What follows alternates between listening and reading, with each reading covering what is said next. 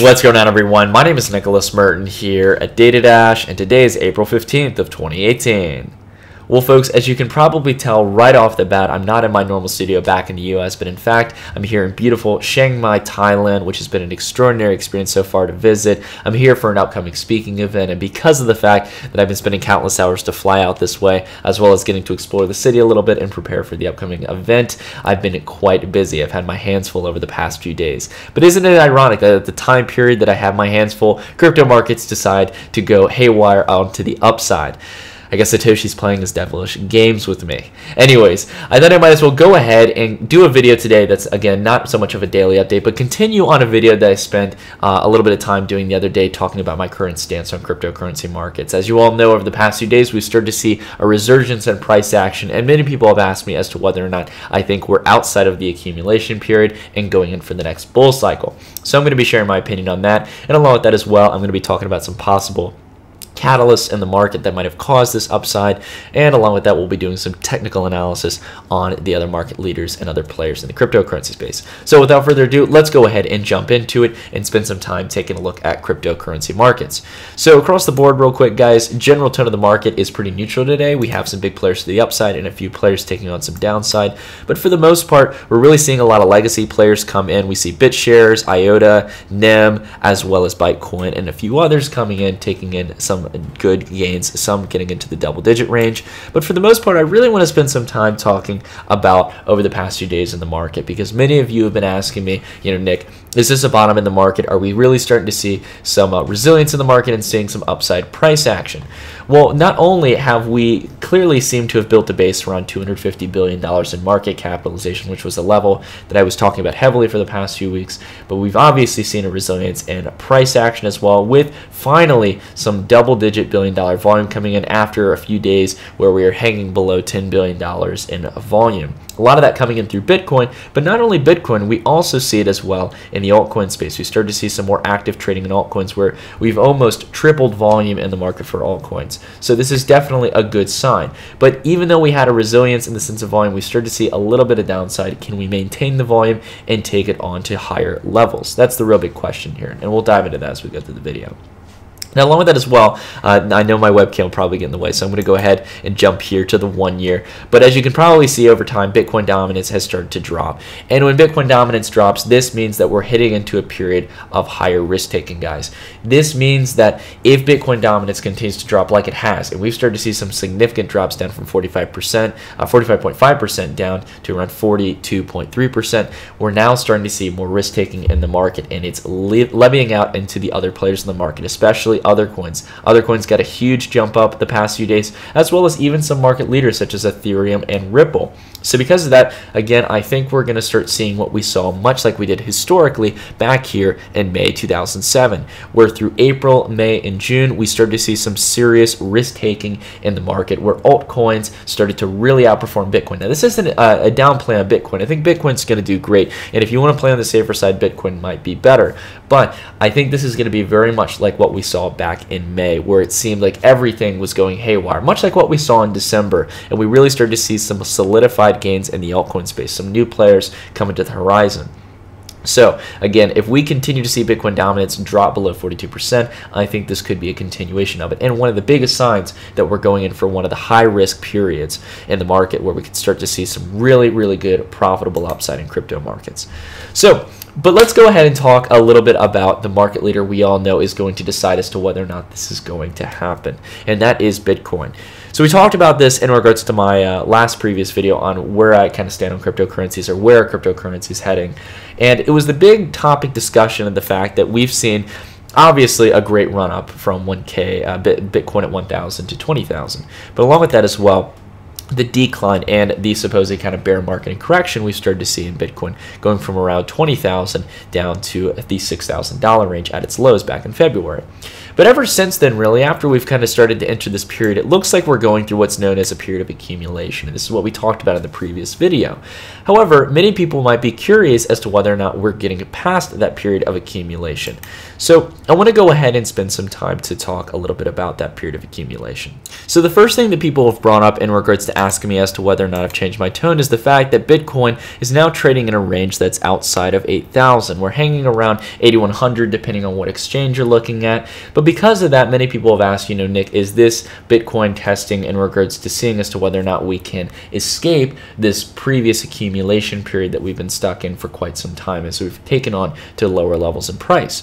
And I think it's an important thing to watch. I think we have to see whether or not we can hold above this level here. Now, the big reason I say that, and I'm not so uh, exactly confident in regards to taking on the full bull swing, seeing the full exuberance come back into the market just yet is because we got a lot of volume back here. We got around, I think someone had estimated the number as they looked across all exchanges, all the big buy orders coming in, that there was around $250 million of Bitcoin bought within a one hour period. Lots of accumulation coming in, meaning that a lot of buyers on the institutional side, a lot of whales must have come in in regards to picking up Bitcoin. But it's important to note with that that at the same time, we need to have that volume maintained as we go up to higher prices. We can't have a one time event and then remain on this low volume here as Bitcoin pushes higher. You can see ever since the volume's gotten cut off that we really haven't gained too much in price action. We gained about $300 of the price action in order for Bitcoin to continue moving like it did, or at least remotely close to how it did, we need to have more volume. You're not going to get these kind of gains in regards to Bitcoin unless we get the matching volume. That doesn't have to be instant like that within one hour, but we need to see some of these big volume candles spread out and maintain higher levels of trading volume as we see price go higher. That's a signaling sign that institutions are continuing to trade, continuing to buy, and they're hoping to see higher prices. Another thing important to note as well that many people have been curious about is that it looks like technically, depending again on what exchange you're looking at, that we've not only gotten out of the $8,000 period, but we're, that we're actually finally looking like we might be able to test outside of the line of resistance. Now, here's what I'm looking for.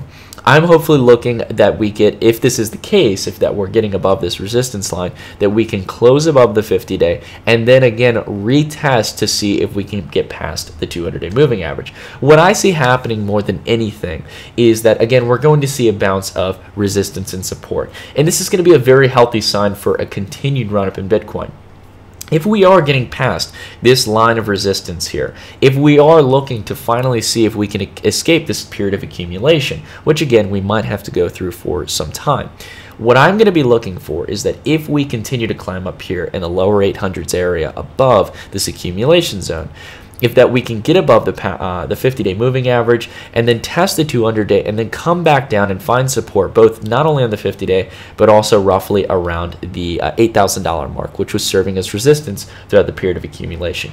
If you can get that if Bitcoin itself can maintain that level of support, that is going to be extremely healthy for a future run up. So I'm going to be definitely looking for that. If it's the case that Bitcoin gets knocked down, if we get a sell off side, uh, sell side action, if we start to see a knockdown in price, I think again we're going to climb through this period of accumulation until we smooth out against this line of resistance. And that might be all the way until we start in May. But again, we have to remain patient, guys. We have to remain diligent. Keep your strategy for both ways. And whatever one uh, starts to show the signs that it's going to turn out, again, follow which way feels comfortable. My sign is that I'm going to wait and see if this really gets a solidified close above um, this uh, accumulation period at 8,000 to 6,000 before I really start taking the bullish side of things. So I'm remaining neutral still. I'm still kind of in the accumulation mindset at the moment. But outside of that, I want to spend some time to talk about the other market leaders. And again, later on, we'll talk about some of the catalysts that might have caused this recent boost up in the market. So first off, I want to spend some time here on Ethereum. Ethereum, I got to say, was looking very nice over the past few days. Uh, though we didn't get the volume and the price action was looking very steady for Ethereum. The problem that I see, as much as it's nice and smooth and it's looking very bullish, is that we're still seeing resistance at the 200 day moving average. Now, we've seen uh, generally resistance at, uh, uh for Ethereum down across the 50 day in the past, but now we're looking at the 200 day moving average as it started to generally show a decline for the first time, uh, really, in a lot of Ethereum's history. We haven't seen this uh, kind of serious downside action since really uh, back here in October. It's really started to form back here in November, going through and shaping up through the early part of 2018. If we can break through this and again find support, that might be good. But with the 50 day coming close to the 200 day, it looks like a death cross might be coming in and that we could see some lower price action. If we get the altcoin cycle this soon, I think that you could see Ethereum break through this and show resilience. At the moment, though, I'm going to wait patiently until we get a close above that 200 day. It's too risky for me right now. XRP BTC, obviously, you guys know where I generally stand on Ripple as much as I usually stand pretty bearish on Ripple. Sorry, I don't know why ads are starting to pop up on. Uh, it's telling me I need to do a 30-day free trial. Um, the whole thing in regards to Ripple that I do like, as much as I've remained generally bearish, is that this has popped up amongst the 200-day moving average. This did not go below it, and with the resilience in the market, we've actually gotten above the 50-day. Now, if we continue to hold the 50-day moving average, and this continues to flag out, as we can obviously see here on the four hour, this might be an opportunity for a swing trade. Again, not doing anything right now, but at the moment, I'm hoping to see it hold on that 50 day moving average if there's going to be a trading opportunity for the short term. And the long term, though, I think Ethereum's got a lot more uh, downside to go through going on here. Bitcoin Cash, uh, again, Bitcoin Cash not doing anything exciting, still holding towards the lows. Again, not touching it till 5 million Satoshis. So going on here, guys, last but not least, in the kind of traditional players that we look at, we're going to look at a lot more. Litecoin not keeping up with Bitcoin. Again, still waiting for this to make contact with the 200 day and see, like we did back here, if we can get support. Again, nothing too exciting right now. Nonetheless, Litecoin, I guess, is doing fine, just like other market players. That Bitcoin's doing good, but it's not beating up Bitcoin.